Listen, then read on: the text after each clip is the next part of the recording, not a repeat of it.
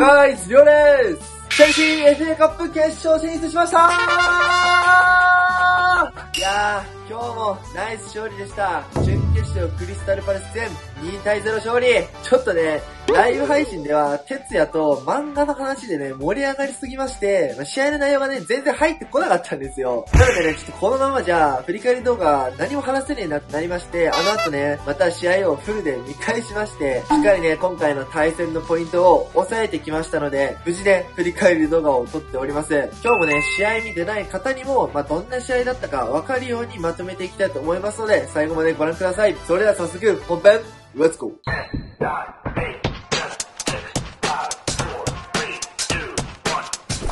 はい、改めまして、FA カップ準決勝クリスタルパレス戦2対0でチェルシーが勝利しまして、無事決勝進出を決めてくれました。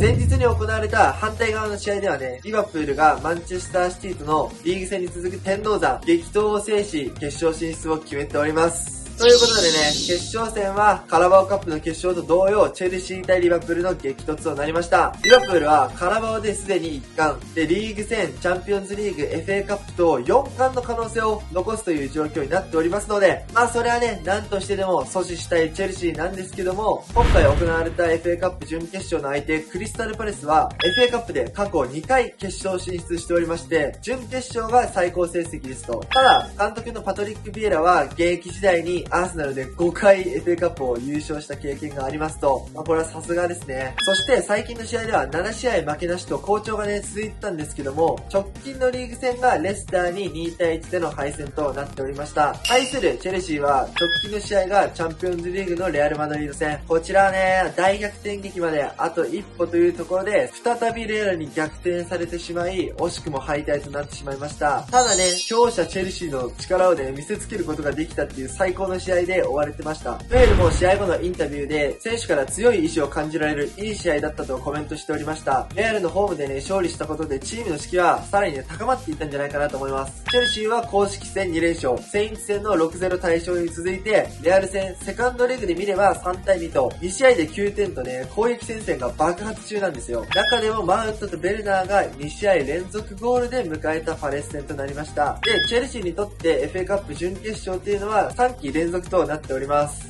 そんな両者が激突する試合のスタメンがこちらでした。フォーメーション343で、キーパーがメンディ、センターバックがアスピリケータ・クリステンセン・デュリガー、ボランチにジョルジーニョ・コバチッチ、前線3枚がマウント、ハバーツ、ベルナーということで、スタメン予想が1枚外しでしためちゃくちゃ惜しかったな。一枚外しね、今季で一番惜しかったんですけども、まあ当てることはできませんでしたと、まあ、ワンシーズン通して1回も当てないまま終わるかもしれないです。試合がね、始まってみれば、マウントトップ下のベルナーとハバーツが2トップのような形で戦っておりました。やっぱね、デュエルチェルシー、この3枚が結局一番いいです。それくらいね、今回の試合も良かったです。そしてアスピリクータとジェームズの位置が逆で、アスピリクータがウィングバック、ジェームズがセンターバックで右に入りましたと。まあ、これはね、ザハのスピード対策、カウンター対策だと思われます。まあ、実際はね、マテタとのマッチアップになってましたけども、まあ、このジェームズ・アスピってのは、どっちがどっちをやってもね、毎回素晴らしいパフォーマンスということで、今回はね、安定でした。そして、チアゴ・シーバに代わってクリステンセンが久しぶりのスタメンとなりました。対するクリスタルパレスなんですけども、まあ、一番の注目選手、コナーギャラガーはチェルシーからのローンプレイヤーですので、契約上リーグ戦での対決は不可能。ただね、カップ戦は両チームの話し合いによっては出場が可能という状況だったんですけども、もちろんね、チェルシーはこれを拒否しまして、あ申し訳ないけど、ギャラガーはお休みさせてもらいましたと、ギャラガーがいたらね、さらに苦戦してた難しい戦いになってたと思いますので、なんかそれも、トゥエルとね、試合前にギャラガーはね、たまたま食事かなんかで会って、直接ね、話したらしくて、トゥエルはね、もう仕方ないけどごめんねって謝ったっていうエピソードがね、出てましたね。試合の展開としましては、クリスタルパレスは相手にね、ボールを持たれることが予想されますので、まあ、守備に回る時間でどう辛抱するかってところ、チェルシーはカップ戦なので、もう試合内容よりも結果が大事だと。聞いたパレス相手に引っ掛けられてからのカウンターってのが一番怖いですので、序盤は特にシンプルに前にボールを蹴るっていうシーンがありました。多かったです。対するパレスもボールを奪ったらもう徹底的に裏を狙っていきまして、ロングボールガンガン蹴ってきまして、その跳ね返返されたところをルーズボール回収という、これをね、徹底してきましたので、チェルシーはプレス回避にかなり前半苦労しました。引っ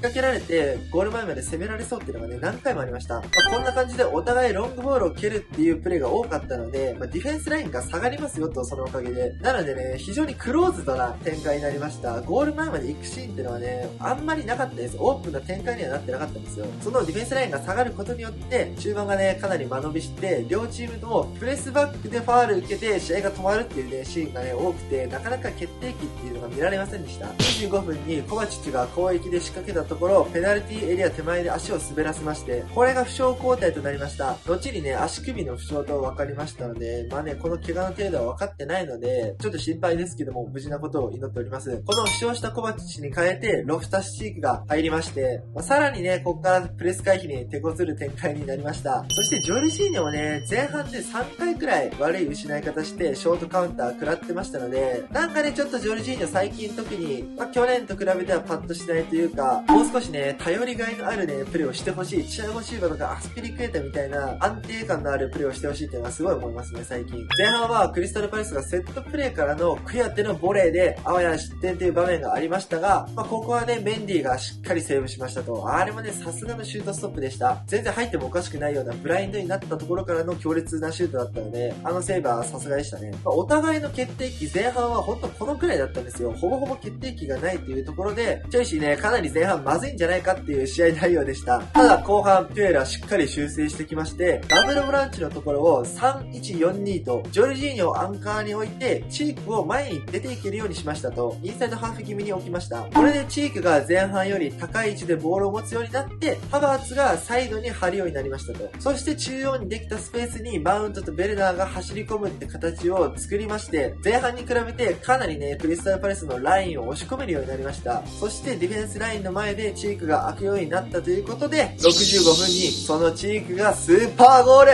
来た。おー、いいボール。あーうわナイス。来た。フィニッシュが課題のチークが、ゴラスト。いや30年ぶりぐらいの待ちに待ったチークのゴールが来ましたと。しかもめちゃめちゃゴラスト。やっぱね、いい武器持ってんすよ。あんなね、パワフルなシュート打てるんですよね。もう体格出来上がってて、身長も高いので、リーチとパワーっていうのがすごいんですよ。このゴールきっかけでね、ケチャダバ来て覚醒ならないっすかね。彼がね、ガンガン点取れるようになってきたら、またね、ボランチの序列とか起用法ってところはね、だいぶ変わってきますから、ちょっとね、今後、彼の覚醒というのはね、期待したいんですよ。1点ビハインドになったクリスタルパレスは、早速72分に2枚替えしまして、ベンテケとオリーセ、攻撃的な選手を投入して、もう勝ちに行くための布陣に変えてきました。その分前に人数かかってきたところ、チェルシーは奪ってから縦に速い攻撃ってのがガンガン刺さるようになりまして、続けて76分にマウントがベルナーからの横パス受けたところ、神ファーストタッチからの冷静に流し込んで追加点。うわはい。素晴らしい。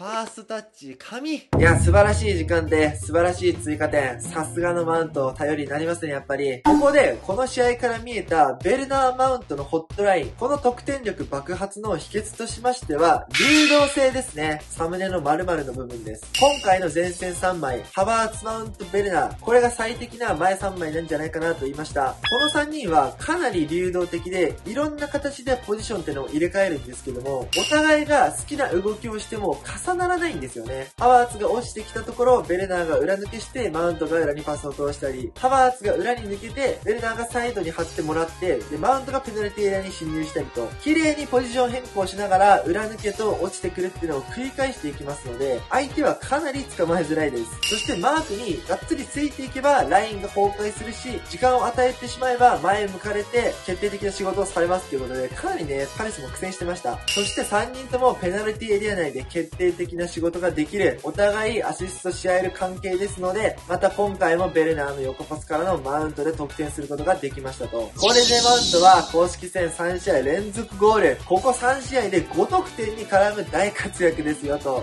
ほんと替えが利かない選手ですね。そしてベルナーも同じく3試合で5得点に絡んでるんですよね。本当に戦戦をきっかけに覚醒してる状況も自信がついてます。顔つきも違いますので、マジで今のベルナーも頼りになります。そしてこの2人の得点を陰で演出しているのがハバーツというところで、やっぱこの3人が昨シーズンに続いて、前線3枚の最適解だと思います。去年と比べてね、さらにベルナーが調子上げてきてるっていうところで、非常にいい関係を構築しております。ということで、このまま試合は終了して、2対0で勝利しましたと、スタッツを見ていきますと、チェルシーは支配率67%、シュートが12本、うち4本が枠内で2得点でしたと、ビッグチャンスは3回作って2回外しましたと、個人のスタッツを見ていきますと、キーパスがベルナーがトップの4本、シュート数がマウントがトップの3本と、さっき言った通りね、今回もこの2人が決定機を何本も作っていきました。ん？皆さん、気づきました？よく見てみると、キーパス1本リュディガー、シュート2本リュディガーって、めちゃめちゃでしゃばりやん、こいつ。両チームのね、攻撃的なスタッツの3位にどっちもランクインしてますから、最後の方もね、ルカクがゴール前で決定来たと思ったら、リュリガーでしたからね。試合中勝ち確信したら暴走するのやめてもらっていいですか、リュリガーさん。ルカクとかね、シエシにゴール譲ってください。あなたは後ろでおとなしくしてくださいと。いやー、リュリガー、さすがっすわ、やっぱり。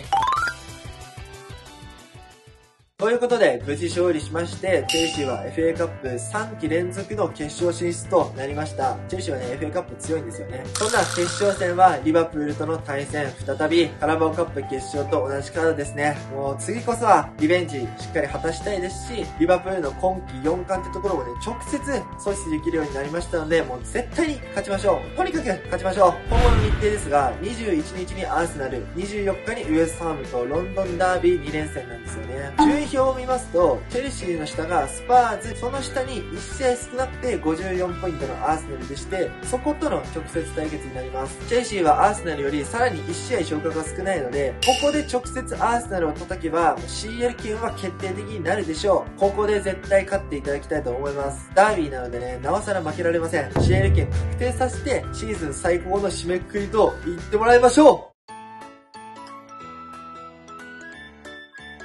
ことで、以上になります。今日のチェルシーの勝利に対するコメントを残していってください。もうね、一言とか簡単なコメントでも全然構いませんので、たくさん書き込んでいってください。もうベルナー最高とか、チークゴラッソーとか、簡単なやつで構わないので、どんどんお願いします。今後もチェルシー全力応援していきます。チャンネル登録よろしくお願いします。それでは、またな。